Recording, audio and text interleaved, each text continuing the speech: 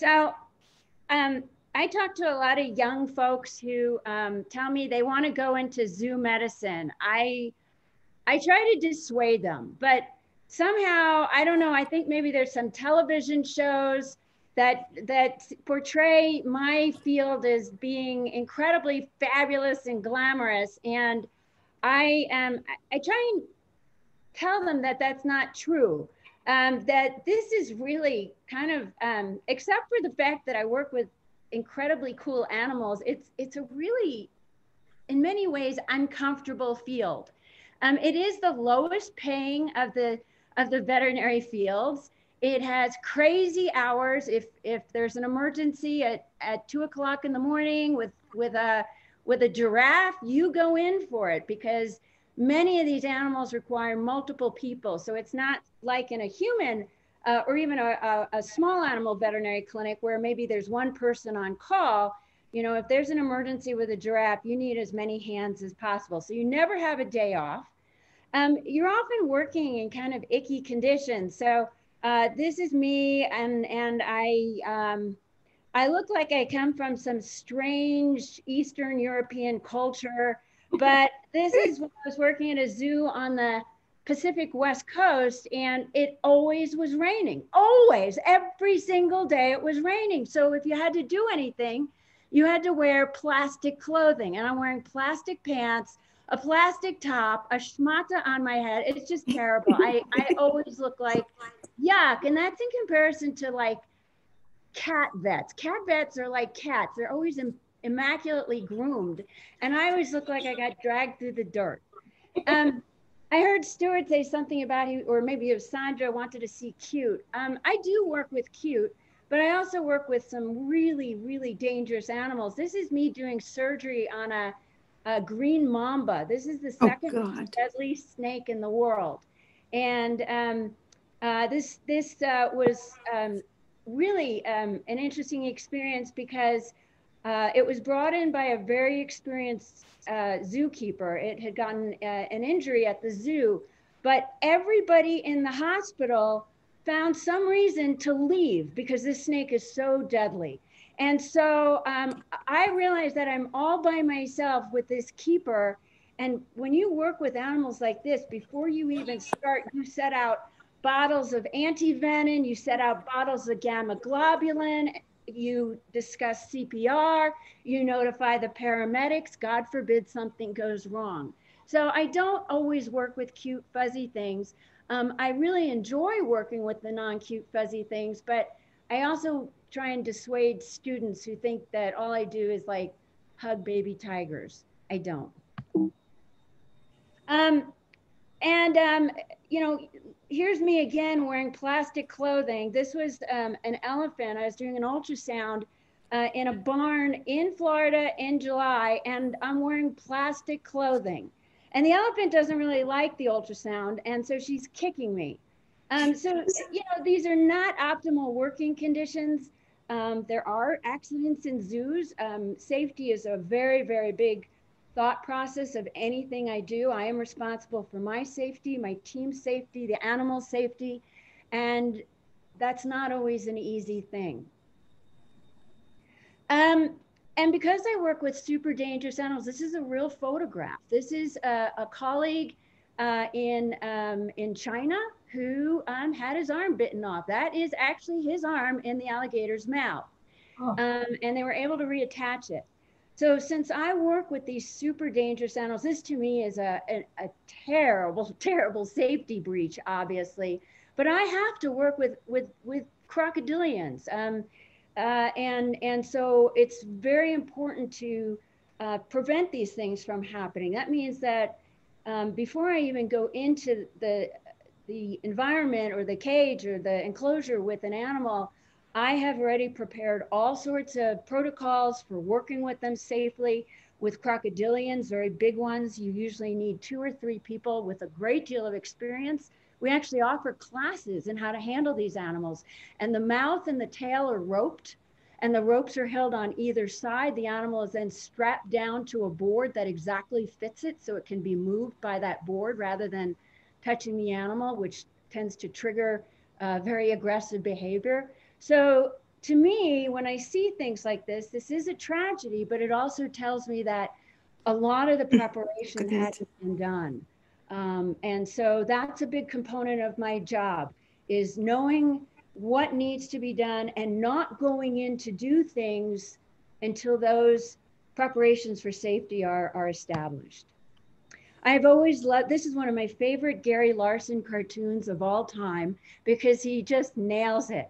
Uh, you know, it's, it's the zoo vet and he's got a peg leg and he's wearing a patch and he's got a hook for an arm and his autobiography is titled Zoo Vet, I Quit. and that, that, really was the way we used to, um, you know, medicine has come along, but we now have appropriate anesthetics. We have a lot of really good protocols. Um, and this sort of thing isn't that common, but is it, it is just out there. It is out there. We do have, I, I do have colleagues who have, uh, you know, lost fingers or, or parts of their body um, because they were trying a new anesthetic that, um, hey, didn't work and the bear woke up on the table. Um, so, so we um, deal with that, that, uh, that part of, of, of the, the animal world too. And it's something that a lot of vet students don't see. They just think about cuddling baby tigers. Um, I actually thought I should, uh, I, I, know Rachel wants a lot of funny stories and there will be a lot of funny stories, but I, I actually thought I should also give some real information. And so this was something I went and researched for this talk. And I didn't know that the very first zoo vet uh, was at the London Zoo in the 1800s. Um, but it's, the thing is that th this is a very recent field. My own vet school, I went to the University of Pennsylvania, still doesn't offer any training in zoo medicine, and many vet schools don't. I think there's only like 28 vet schools in the country, and of those, maybe 15 even have a zoo vet program. And that's because there aren't any jobs. This is not a very um, uh, useful thing to prepare students for. I actually didn't know there was such a field as zoo medicine when I went to vet school, and I graduated without having any experience in it. Um, in 1953, there are only five zoo vets in the United States, and, and even today, there's about 200, which is still a very, very small number. Um, um, and, and so I, you know, I think that um, it's a fascinating field, but I, another reason I dissuade students from going into it is because there's just so few jobs. There's so few zoos and there's so few jobs. And it's always good to have a plan B and a plan C. So learn you know, domestic animal medicine before you start dealing with uh, funny creatures like badgers. And I will tell you that this badger is, is also uh, one of the more dangerous animals I work with. Um, I, um, I had to dart her to work on her. She had something going on with her foot and she didn't let anybody get close enough to even look at it. Um, and I'll talk a little bit more about how I handle animals um, to get a good look when uh, they're not cooperative and they also want to eat my face. Um, very, very cute little animal, but boy, you don't want to be alone with a badger. Um, zoo medicine is also kind of a weird field because it includes um, basically everything living that's an animal on the planet. And I think somebody recently gave that number at like 3 million animals. Now, zoos really only have, you know, a couple of, of hundred animals. Um, and there are many species we don't even know anything about. Um, but the idea in, in the training of a zoo vet is to be able to handle anything. And I actually heard uh, an, a man who was an astronaut, he had helped build the space station, give a talk. And, and in his talk, he said that when we finally make contact with extraterrestrial life, and he firmly thought we would do so in the next couple decades, he said it was zoo vets who would provide their health care. And at that point, I completely tuned out because all I could think was, oh no, another species where I have to figure out what tentacle to put the EKG machine on and how not to get bitten by it. Um, but he was right in the sense that we can't be trained in how to take care of every single species on the on the planet so we're trained in thought processes how to approach a species that we we don't know much about. Um, and and even though it's called zoo and zoo medicine it really should be called zoo and wildlife medicine. I do hear that term a little bit more often because a lot of people who are trained in zoo medicine go on to take care of animals uh, that are not in human care. Um, they are part of conservation uh, projects, research studies on wildlife, um, and they we also take care of aquatic animals. So about five years ago, I started working uh, with an aquarium and started doing fish medicine, which was completely different than any other kind of medicine. I, I very much enjoyed it, but um, that's also under the umbrella of zoological medicine. Um, and by the way, um, this is an alligator named Skippy who does know his name. He is 14 feet long and be, and and Skippy was pretty cool. Um, his trainer uh, had him open his mouth for me because uh, we were dealing doing just a physical exam. Um, what bothered me were all his family members who were behind me, who were just kind of doing their own thing. And uh, so this is kind of a stupid picture. The cast on my arm is unrelated to Skippy, but um, stupid pictures are things that I don't do anymore because I'm I'm old now and I don't move as quickly when things go wrong. Um, being able to move quickly and leap over fences is a very good skill to have when you're a zoo. Um, and, and like I said, this is a field that's very small. It's a very recent field and very few people actually go into it. A lot of people are fascinated by it, but very few people go into it and many struggle to find adequate training. Um, and of the, of the, you know, maybe 500 accredited zoos in the United States, about three quarters of them actually employ a full-time vet. Um, I myself do a lot of um, contract work with vets with uh, facilities that don't have a full-time vet. And, um, you know, so again, there's not a lot of jobs. If you want to be a zoo vet, uh, you can go to vet school and hope you'll get hired by a zoo. But these days, it's a very competitive field. So there are these internships and residencies, and then there those are highly competitive. And some zoos want you to do multiple internships. Um, there's some facilities that, especially if you're going to go into wildlife, you're going to work with, let's say, the Nature Conservancy or uh, World Wildlife Federation. They want you to have a PhD. So after vet school, you might get additional uh, training. Um, and then there's people like me who just sort of made a left turn uh, and wound up taking care of elephants. And my career doesn't make sense to anyone. Um, and I, I try to tell students that I am not, uh, my career is so bizarre that it is definitely not a role model for anyone. Um, but there it is. Um, like I said, we're the ultimate generalist. This whole list is is things that I I regularly take care of with all these different species. Um, internal medicine, surgery, specialty stuff like cardiology. Although these days, because veterinary medicine does have so many uh, specialties, things like uh, cardiology and neurology, very often when I have an animal with a serious uh, heart problem, I do call in a veterinary cardiologist. Um, and that's great because those people have so much additional training and specialized equipment. Uh, they come in and they'll do an echo on an animal and they'll uh, they'll they'll do exactly the same measurements that you might get uh, if you went in for a cardiac workup, and that's a, a real benefit.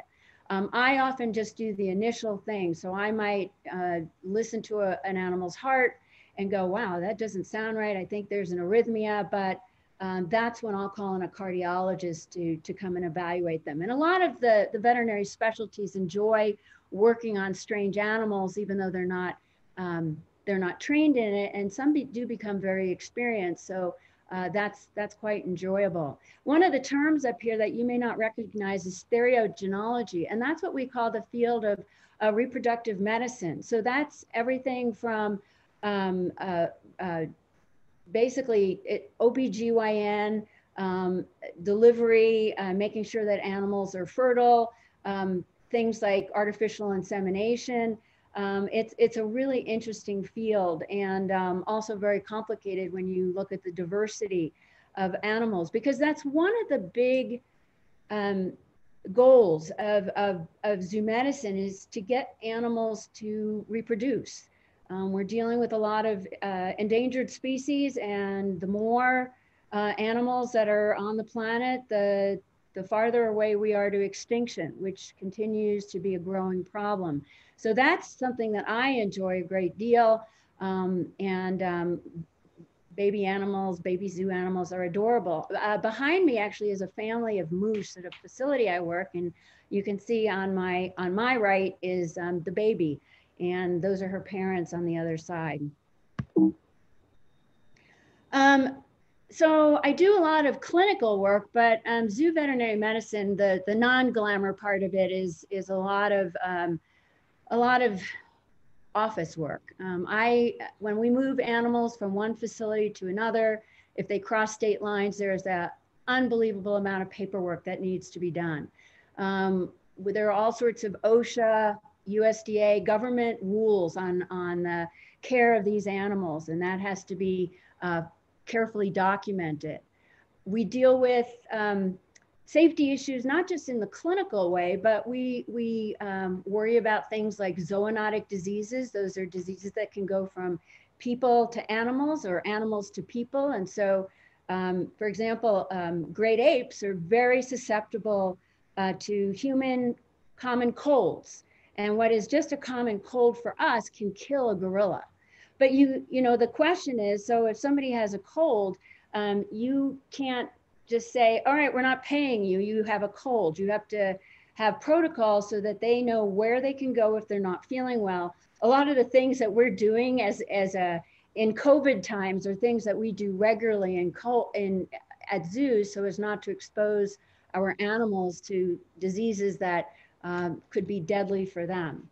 Uh, we get involved in exhibit design because there's this big trend to naturalistic exhibits and they're very beautiful and you look at them and it looks like giraffes on the Serengeti, but they're so realistic that basically there's no way for me to access the animal or even look at them. Um, and that has been a problem. And so zoo vets are starting to get involved with the architects who are designing these exhibits so that we can still do our job. I very often am a public speaker, like I'm doing now, to tell people what I do. I get engaged in media relations. Good news, hey, we have a new baby, and and sad news, we've had um, our polar bear has passed away at the age of 30. Um, and and it's nice when people can hear it from a veterinarian because it it demonstrates that you know these animals were really well cared for. Um, and zoos do take very good care of their animals. I think there's been a lot of uh, negative um, conversation, but I have worked at probably 75% of the zoos in the United States uh, as a consultant or, or in some cases as a, a an associate. And uh, these animals are beautifully cared for. Um, and it's unfortunate to me that there's so much negativity toward them. I do a lot of education. I talk to kids, I talk to vet students, and I also do a lot of paperwork. We are still in veterinary medicine often not um, not entirely computerized. And believe it or not, when animals move internationally, so if I move, let's say, a gazelle to Canada, the paperwork that the governments require me to use, it requires a typewriter. Let me tell you how hard it is to find a typewriter these days because they have to be typed in quadruplicate and they actually have that icky paper that like turns your hands purple. But we're still doing stuff like that. Um, the things that I enjoy are often the challenges, and um, and and they range from the variety of sizes. I deal with animals that weigh a couple of uh, grams to um, elephants, and there are veteran zoo veterinarians who specialize in whales. You know, even bigger than elephants. Um, both sides of the size spectrum have a lot of uh, challenges. There's safety issues, as I've pointed out, and and it's safety for us, but it's sometimes safety for these animals where we don't know a lot about them. Um, sometimes we get very, very surprised by the results. Um, there is, for example, a, a, drug that we use in anesthesia in multiple cat species, but if you use it in tigers, um, a, a large percentage of them will start seizuring. And we don't know why that is. Uh, but we do know that now. Um, but the first person who used that drug in a tiger because it worked so great in leopards and lions and everything else had a very ugly surprise. And, and there are ugly surprises in veterinary zoo medicine when we don't know everything. And that's because so little data is out there. You know, we talk a lot in human medicine and in domestic animal medicine about evidence based medicine. Well, there are days where I feel like a, a, magic eight ball would be as good a way to figure out what I'm doing as anything else. Um, I have worked with species where, um, uh, to give you an example, the, the, the Chinese giant salamander is a three foot long salamander I think there's four papers written about it. Um, all the papers are written in Chinese. And um, I had to deal with one. I, it was my first week at a zoo, and everything goes wrong for me when I start a new job. And um, I, I, this animal was the most bizarre thing that I had ever seen in my life. And um, it had died overnight. And we always do autopsies on our animals. And when I started doing the autopsy, I couldn't even recognize its organs. Okay. that is a terrible thing. I'm looking at this going, what is this? And there was one organ that there appeared to be three of them. And that really threw me for a loop because, you know, we have two kidneys, we have two lungs, but I couldn't think of anything that we have three of. Um, and so I just kept pretending like I knew what I was doing because, you know, you don't want to cause anyone to panic or think that you're an idiot. Um, I'm probably one of three people in the world who have ever done, uh, who's not Chinese, by the way. I'm probably the only person who isn't Chinese who has, has done a, a necropsy on one of these things and one of, you know, four vets total. Um, so I just kept calmly, you know, taking my sections and putting them in little jars.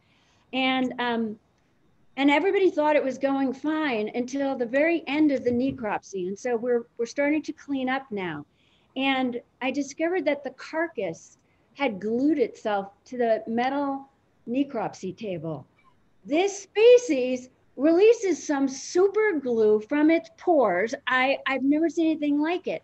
We couldn't detach it from the metal, the metal table. We finally actually had to use a saw and we damaged the table. And I, I mean, I'm just so I still don't understand this. And and even to this day, this is like this occurred 10 years ago we still talk about this. Hey, do you remember that time that dead giant Chinese salamander glued itself to the table after it was dead? Maybe we should have collected it and like made the world's best glue. And so this is the kind of bizarre thing that that happens regularly because we don't know very much about some of these species. Another challenge is dealing with social systems. We, um, you know, a lot of these animals live in herds and groups. And if you um, remove one animal to, let's say, do veterinary, you can't reintroduce them. They'll get beaten up. Or you change that hierarchy in the group. And so that becomes a very big consideration if you want to do something. And the final thing is many of these animals hide illness because if they were in the wild and they were, you know, limping, um, they get eaten by something. Um, so you often don't find out that they're sick until they're really, really sick. And this becomes a, a, a day-to-day challenge in working with them. Um, I did want to show you that once in a while I do get to hug cute fuzzy animals. Um, so these are the two pictures I could find in my collection of me hugging cute fuzzy animals. And they were so cute and so fuzzy. It made up for like the times that I'm dealing with a green mamba. We also deal with challenges that I don't particularly um, enjoy. And, and like I said earlier, there's a lot of anti-zoo sentiment. Um, and some of it is um, animal extremists, groups like PETA, HSUS, who are working very hard to shut down zoos and spreading a lot of uh, falsehoods about zoos. Um, there's also a very changing view of zoos, which and those views range from there's people who are struggling right now uh, in the time of COVID. Why should we spend money on animals?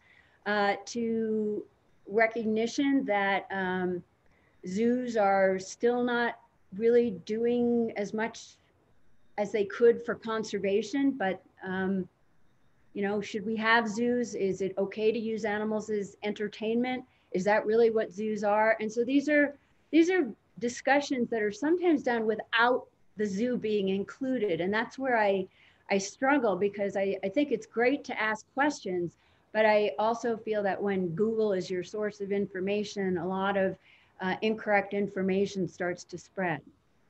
Zoos themselves are not always happy places to work. And, and there is a culture of bullying, which I have encountered uh, repeatedly. One of the things that has changed in the past 15 years is that it used to be um, that you worked your way up in a zoo. So you got hired, let's say, to probably not even take care of the animals, maybe to sell popcorn. And then if you did a good job at that, you might get to be a, a junior keeper and, and you know, uh, move hay from one barn to another or sweep manure. Um, and if you were good at that, you became a keeper and then maybe a, a, senior keeper and a curator and a manager, and you could work your way. And so the people at the top of the zoo were people who had been there a long time, knew those animals, loved those animals, and understood the realities of, of, of zoological medicine, of zoological administration. That has changed. The administration of zoos is now hired from outside. They come from industry, law, banking, um, because zoos are often financially strapped. And so the, the, the qualities of these people is that they're very good at fundraising. They're often quite photogenic and they look good on a, on a television screen, but they often have no affinity for animals. In fact, they look at the zoo animals as commodities.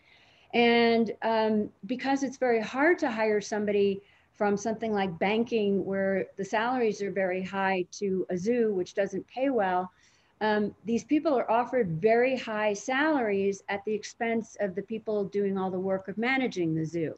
So while the director of a zoo is earning a half million dollars, the keepers aren't even getting, um, a, they're not being allowed to work full time, just short of full time, let's say uh, 30 instead of 32 hours a week, so they don't get benefits, and they're being paid minimum wage.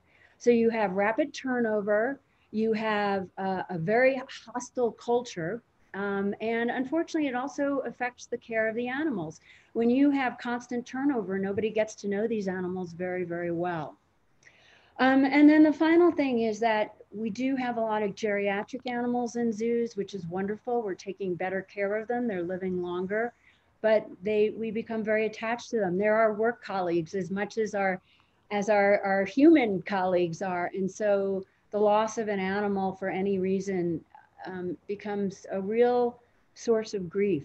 And it's different because when I do um, animals in private practice, I love animals. I absolutely do. But you know, when I do um, a vaccine on a dog that I see once a year, it's its passing is sad. It's very difficult, but it's generally easier for me to um, remain objective and not let it get personal when it's an elephant I've cared for for 20 years who finally succumbs to, to heart disease, I grieve like I'm grieving a family member, and so do the people I work with. And so that becomes um, a very difficult thing um, as that's that's a, a, part of my job. And it also becomes I, I'm also very responsible for explaining what's going on to staff and also to outsiders and for me, certainly um, talking about grief when I myself am grieving is, is difficult. COVID has put a real monkey wrench into zoos. Um, because we've had to close for visitors, um, there, and we're still feeding our animals, you know, hundreds of thousands of dollars each week without any income, um, it has created enormous problems. Uh, also now that we're having another surge, um, we had hoped that we could open for events. You know, we hold birthday parties at zoos and weddings get held at zoos, and we've had to cancel all of those. Um, and there's some fine, fine facilities that have closed permanently. And, and the one that breaks my heart is the Vancouver Aquarium, which is a marvelous aquarium and did a lot of work with um, stranded sea mammals, you know, otters covered in, in oil and uh, beached whales, they're closed for good. Several uh, big zoos are about to close. And although most zoos had put aside money, um, you know, in case of any kind of emergency, nobody expected this to keep going and going and going. So um, a lot of people are losing jobs. There are enormous layoffs. Um, I think um, very soon there's going to be discussion of um, deaccessioning animals and i don't know where they're going to deaccession to because this is every zoo in the world but it's a very, very bad time. And the final issue is that zoo species are affected by COVID 19. Um, multiple zoos have had uh, COVID 19 in their large cats. Um, the cats got it from keepers. Um, mustelids are the weasel family, so that's otters, mink, uh, badgers, uh, ferrets. Um, and so um, we know that COVID 19 came from animal markets, bats most likely, but what we don't know is what other species are at risk. And several papers keep coming out um, that support a, a, whole bunch of different species, species. And if you guys remember, I think it was like 15 years ago, we had SARS, and SARS is the relative of COVID. And that was a big, big issue in, in, in a whole bunch of species that we're now evaluating in terms of COVID-19. So the question then is, okay, if we have a tiger with uh, COVID-19, can it spread it back to people? Can it spread it to other species? We don't know the answers, um, but it's a, it's a constant uh, concern that we have. And it also affects the care of the animals because, okay, if your tiger tests positive, you know, is it, is it ethical to let somebody to let a human become exposed? You know how, how do you deal with this situation? And um, not everybody uh, agrees on what to do any more than we agree in the human world about what to do. So that's kind of my lead in and the rest of this is just fun stuff and fun stories and hopefully something um, educational um, and and it becomes the question of how do i do what i do how do we work with these crazy endangered animals and and take good care of them. And this is one of my favorite photographs I've ever taken. And this is an X-ray. Um, and I worked with California condors, which are one of the most endangered species in the world. They went from, I think there were 12 left in the wild. And because of the work of zoos, particularly the Los Angeles Zoo, where I was employed for many years, there's 400 of them in the wild, which is still um, far, far too um, far too few, but um, there's many. And we started to uh, figure out how to um, hatch them in captivity and release them in ways where they had a better chance of survival. Um, and I'll talk more about why this radiograph is so important in a little bit. If you want to be a zoo vet, you read constantly. I mean, I read all the time and I still don't know half of what I need to know, but um, we're finally there's there's some information and there's books there's publications i publish constantly i lecture constantly um, the learning never ends and that's something i really enjoy and it's something i emphasize to students that if you want to graduate from vet school and kind of sit in your easy chair after four very difficult years um, this is not the field for you the other thing is after you sort of learn the textbook stuff you have to learn what's normal and, and like I said earlier, animals hide signs of illness. But the other thing is when you don't know a lot about animals, it becomes difficult to go, is that, is that what they're supposed to do? You know, it, everything is a little different. So learning normal for me is, is constantly looking. I sit, when I go on vacation, I visit zoos. I love zoos. I, I love seeing the animals, but I see, you know, I, I try and learn the ends of the bell curve for a particular species. And you also have to learn what's normal for individuals. So male mooses are, are some of the most dangerous animals in the world. And on the in the right picture where I'm wearing that little green coat, um, I was getting a photograph taken uh, for um, a, a committee that I sit on. And all of a sudden, the, my friend taking the photo said, Ellen, run! Dave is behind you. And Dave is the is is a typical moose. He is a jerk, and and he was gonna kill me. So this is where like you learn to run really quickly and you like do a Dukes of Hazzard, jump in the truck before the moose bashes you in. Um, and but that's typical moose. That's normal. On the right, it, I, on the other side where I'm wearing the blue coat is Tahoma, and I don't know why this moose is like this, but this is the nicest moose on the entire planet. He lets me brush him. He licks my face. I can do anything to him. I I can draw blood on him, and he just stands there that is normal for him. There are plenty of animals that when they are not feeling well, suddenly seem docile, and that's a sign of illness, but not with Tahoma, that he's just Mr. Charm. You have to learn, you know, the answer to the question is the animal sick? And that sounds like the most stupid question in the world, but I ask myself that every day. Um, these elephants look like giant dead lumps of elephant, but they are sunbathing. That's what they do. This little guy, this this little lion, is is he, you know he's lying down, but if you look at him, he's kind of odd looking. He's actually a dwarf and he's he's fine. I mean, there's nothing I'm going to do about the fact he's a dwarf. He's been a dwarf all his life. He's got little stubby legs. I told the zoo not to breed him because we don't need dwarf lions. I could just see people like, hey, I'll get a dwarf lion in my New York City studio apartment. Um, so he's not normal, but he's also not sick. But these guys, this is a problem. On the top, this is a, a, a, a, jaguar, um, and he's got a tumor in his abdomen. He's super skinny, and the, the zoo thought he was fat. And you can see bones on him. He was very elderly and he had a, a very serious tumor. And the guy on the bottom, because after we had looked at the, the guy on the top, they brought me to see this mountain lion. And I've never seen a cat this obese. This is unbelievable.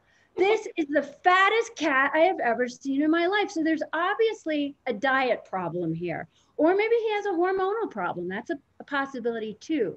So it's the top one would be an emergency. The bottom one is, is not an emergency, but it's not something we can ignore. Um, very often I need to look at something close up. And one of the big changes and one of the big wonderful changes in zoo medicine is that we're now doing a lot of training so that animals are acclimated to having people near them and and will do things and this is great because this is a form of enrichment this is fun for the animals. You know they spend their lives in, in the same environment every day but they get to do stuff with their with their keeper and keepers and their animals get really attached to each other. So many of our large carnivores are trained to present body parts. So you can see the lion and she's showing her belly. Um, this is a polar bear who's been trained to open his mouth. This is very helpful. I can look at this tiger. These are beautiful teeth. These are normal teeth on a young tiger. There's nothing fractured. And animals are rewarded. And this is this is a great thing for the keeper. You know, it's a nice break from cleaning and it's fun for the animal. And it's great for me. This is Joni the walrus. Walruses get lots of dental problems. So here we can look at her teeth. And sometimes we can take that a step far farther. This is Boris, uh, the polar bear. And Boris, uh, they've they built an, uh, a doodad into his enclosure, and he can put a paw there. And if I want to draw blood on Boris, I can do that. I don't have to sedate him, right? Because polar bears are, are definitely one of the most dangerous animals I deal with. But um, Boris is 30 years old, and um, you know, sedating him is a very, very big deal. So Boris has been trained to put his paw in that enclosure, and you can see that there is um, a, a piece of metal, a piece of steel over it, so he can't lift his paw up. He's been trained to allow me to clip, and there is a vein, just like we have veins on the top of our hands.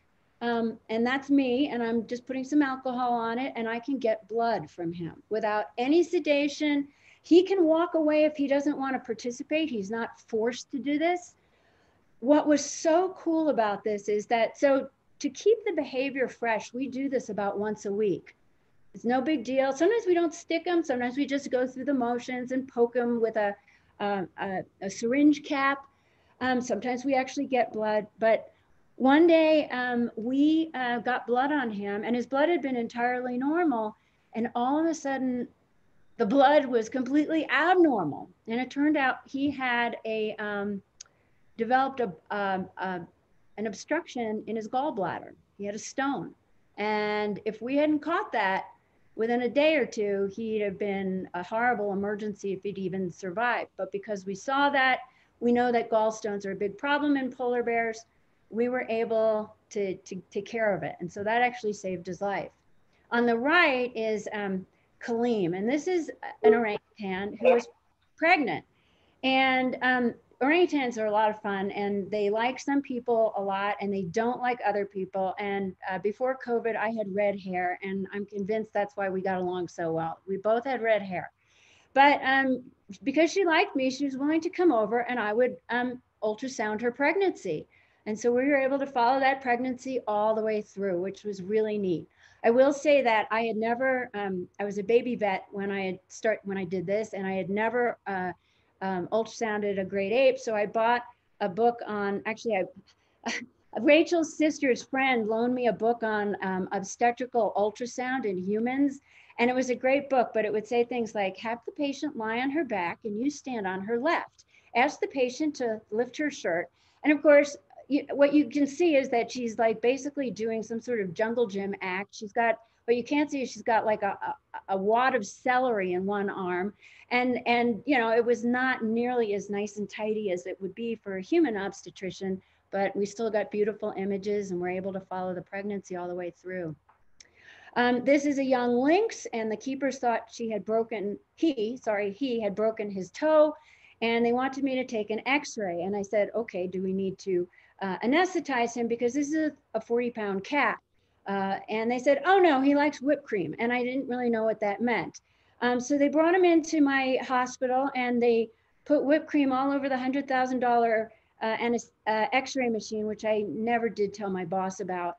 Um, and it was actually great because he licked up the, the, the whipped cream and we were able to take beautiful diagnostic x-rays of his feet and he had broken a toe, which we then were able to fix. So all this training is really terrific and uh, it makes their lives easier. It makes my life easier. And um, we, we try and get them prepared for all sorts of eventualities.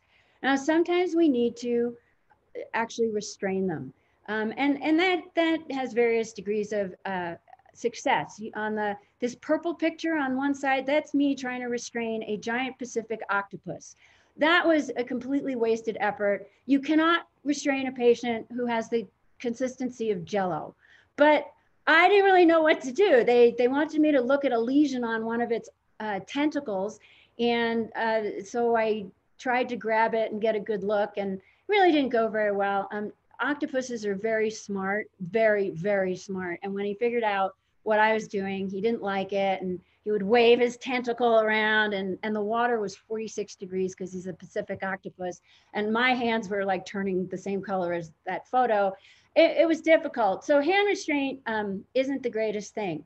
Uh, here you can see us sort of restraining a little lion for a vaccine and, and she's not happy about it. And uh, this is a colleague of mine trying to restrain a camel. And shortly after this photo was taken, she got a hair full of camel spit. Um, and then sometimes we don't even try. I just love these photographs. Um, you know, these are just species that restraint is not going to happen. If the animal isn't trained to do what you want to do, you have to come up with a, a plan B. And so for some species, we aren't able to do uh, physical restraint. We have special devices.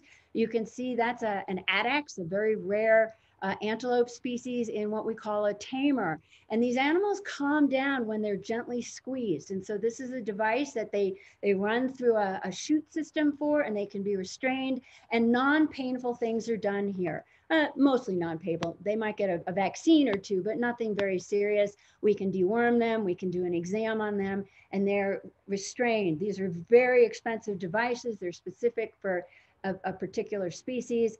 Um, and here's an elephant. Um, that's me. Um, I, because I'm short, I always get the job of sitting under the elephant, which is uh, nobody's favorite job, but this is how you do artificial insemination on an elephant. She's she's restrained with some cotton ropes. She's been trained for this, so it's no big deal. Somebody's at her front end giving her snacks. I'm underneath and I'm threading an endoscope up her six foot long birth canal so I can deposit some uh, semen. And this is an art, uh, she actually did get pregnant from this, which was nice. Uh, these are other devices specific for animals. This is what we call a drop chute trainer. And that guy bending over is actually trimming feet on an animal whose feet have been, he's supported, the body of the animal supported up above, you can't see it, and below are the feet. Non-painful, very rapid, no anesthesia needed. And anesthesia can be quite risky in many of these animals. We design these corridors to move animals because obviously we're not going to lift like a 400 pound antelope. Um, we create these corridors that the animals want to move through. And if you've ever seen like documentaries of them moving in groups, this allows them to move with their herd members in a way that's comfortable and not scary for them and push them into some of these devices so we can work on them. This on top is a squeeze cage. Um, the tiger is trained to go into it and then it has all these cool little doors that I can open. So let's say I want to ultrasound its belly and see if it's pregnant. I can push the bars in such a way that the animal can't turn around and eat my hand, but and I can open a little door and get underneath and do the ultrasound. Very nice, very non-stressful once the animal's trained for them. And, and then there's sort of the low rent techniques. This allowed me to do all sorts of things on otters. It's just a piece of PVC tube uh, cut in half and, and attached to the side of the enclosure. And otters love to run through tunnels. So this was a natural behavior. And when they stood there, they were given a snack. And then I could do all sorts of fun exams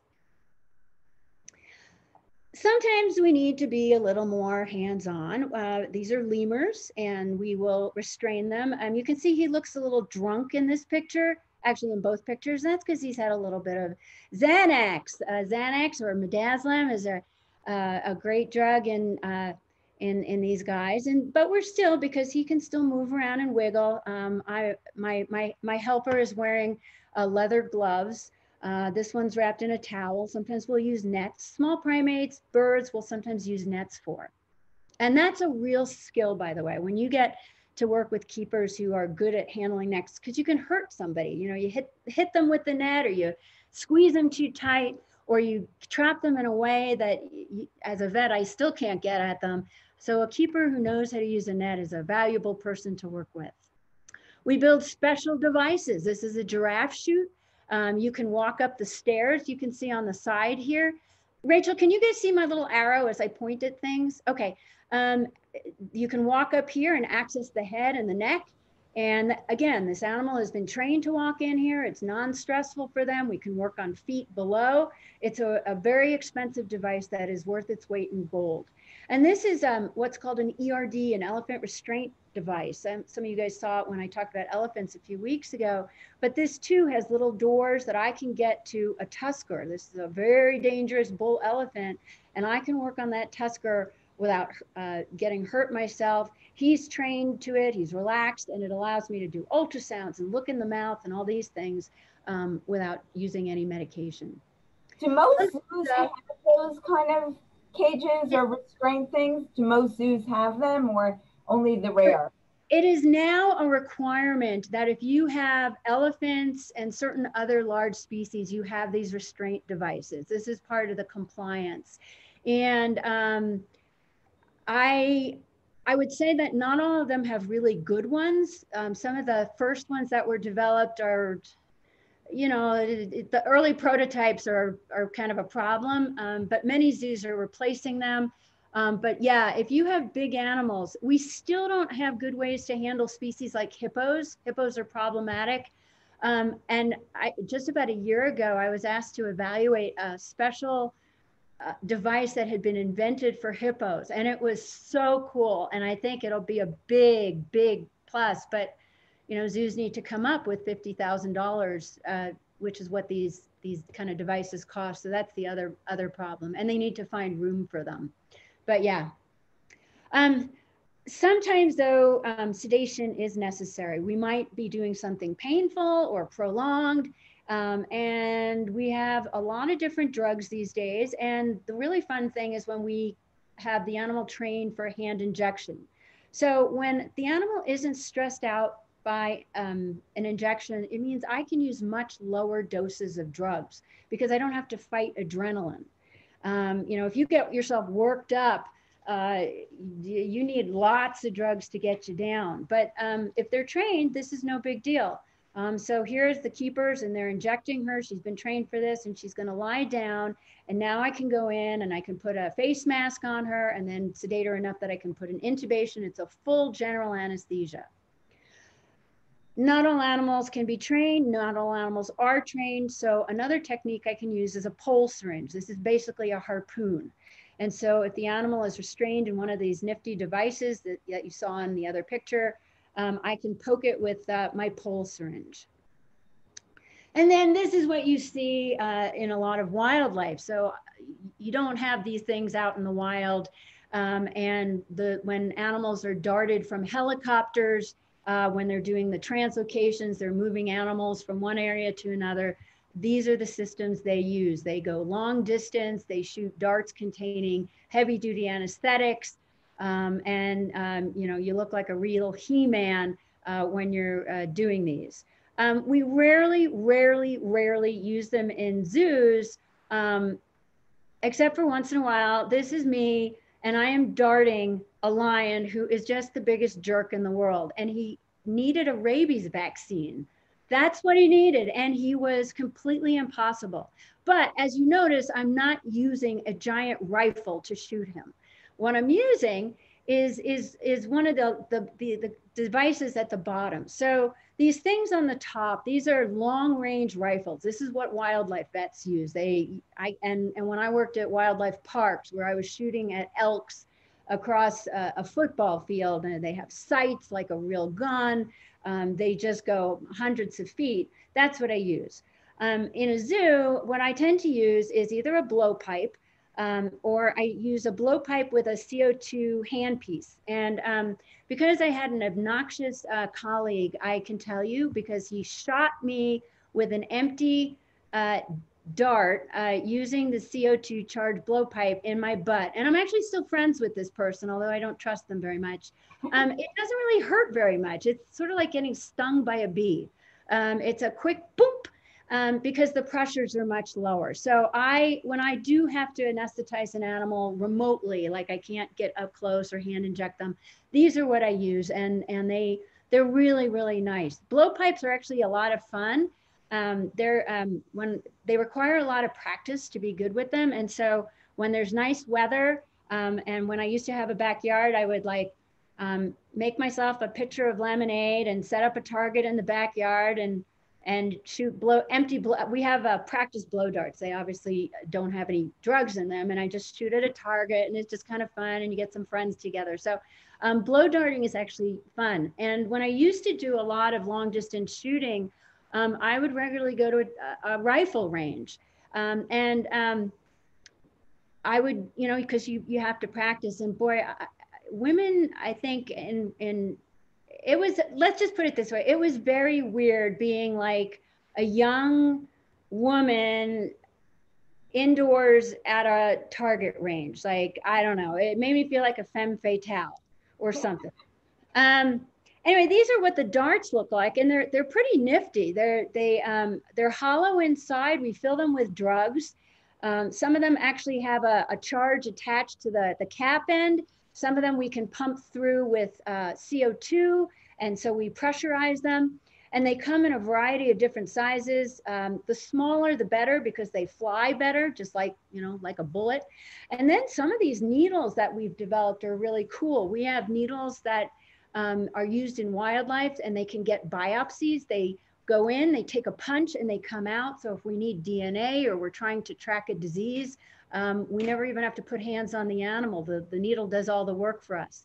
Uh, some of these needles with uh, barbs. So when you try and dart something like a rhinoceros or a hippo where they have super, super thick skin, if you don't have one of these, the needle usually dart, pops, you know, bounces off and it doesn't eject. So these help keep the, the needle in place so that the drug that's inside the dart can actually um, be expelled and anesthetize the animal. And like I said, we do a lot of practice. Um, it is important, and I tell people this, that you you don't step up the first time with darting equipment and a live animal. You need to be practicing. You need to know how to use that gun inside and out, whether it's a blowpipe, a rifle, or a CO2 powered handpiece. You need to know what you're doing. You need to have practice so you know if the gun shoots high or low, if the sight is accurate. Um, and then you also need to know where to shoot and you want to go for big muscle masses. Um, it's important to know something about the animal, like zebras who have gotten a, a, used to being darted and, and they don't like it. They'll often present you their butt and they start swinging their tail back and forth. And if you know that animal, you know when the tail goes just like this and how well your gun works so you can hit them in the tush with the gun.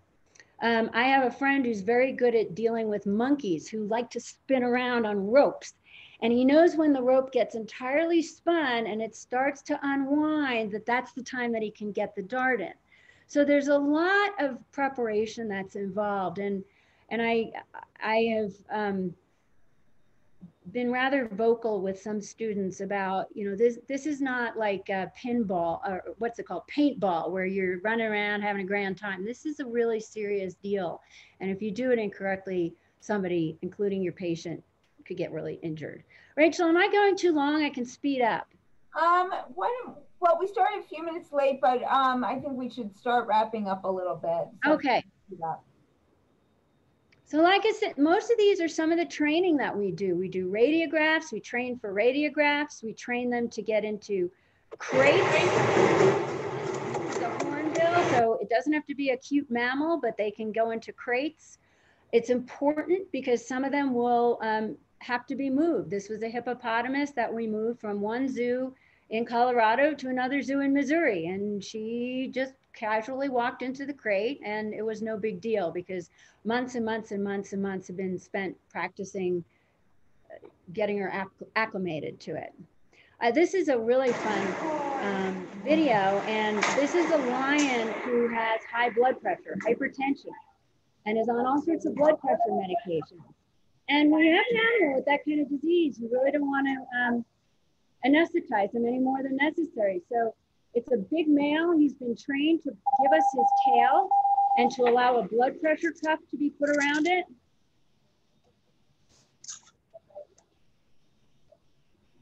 And he's very patient. Somebody's giving him some meatballs up front. So he's, you know, not, not upset at all. He's sitting still. And now we've got, we can do a reading. And unfortunately, he just has primary hypertension like some people do, and he'll probably be on uh, blood pressure medications for the rest of his life. This animal also allows us to take blood on him from his tail. They have very nice veins in their tail. And um, here's a here's a tiger who's allowing us to get blood from a tail. So lots of diagnostics without uh, without getting involved. You've already seen Boris and him giving me his hand. And here is a blood draw on a walrus. And, and these are called blind sticks. Walruses are problematic in that they have no visible vessels. So you have to know where they are and, um, and stick your needle in. And uh, do we have, yeah, that's a two, um, one minute video. We'll, I'll show this one. So what we do is we put hard, uh, we put um, hot water on it to make the vessel stand up. You still don't see the vessel. We know where it is. She's been trained to stand still. This is Joni. She weighs about um, 200, about 2,000 pounds. And she's just standing there. And did we get blood? I don't know if we got blood. Yeah, you can see a little blood in the hub there. So we've gotten it. And she just stands She's there so we can get blood. today, Booby.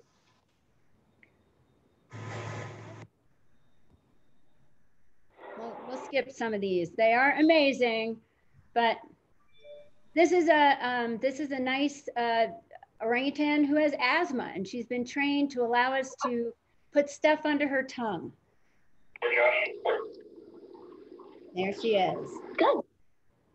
Um, like I said, we can do uh, Echoes, um, gorillas Our are treatment very, program very generally prone begins to with heart an disease. that is trained to present his or her Um, chest to the unfortunately, cage the bench. most common We train the cause of- gorillas of to death present for in- two in positions. great apes is- The first cardiac position is disease. chest straight And so against the they're mesh. trained, uh, these are And the human second position cardiologists. is left side give us their against the hearts. mesh. We can do full echoes. We do also train for EKGs. left hand up and left hand down. Next, we desensitize them to a PVC rod that acts like a mock probe. So really neat that we can do this. And when your elephants are really well trained, you walk them into the hospital. So this is an elephant that came in with her keeper and she um, had um, some, some lameness. And I wanted to take a, uh, an x-ray of her, of her carpus, which is a, a front, front leg joint. And so she just walked in. We had to find a door she was big enough to fit in. Um, and then she walked into the radiology room and we took films and she was a good girl. I will say that um, she came in with a friend who was not as well behaved as she was and proceeded to um, eat parts of the ceiling tiles, but we, we will skip over that. Um, but you can see it's a beautiful x-ray of, of her leg.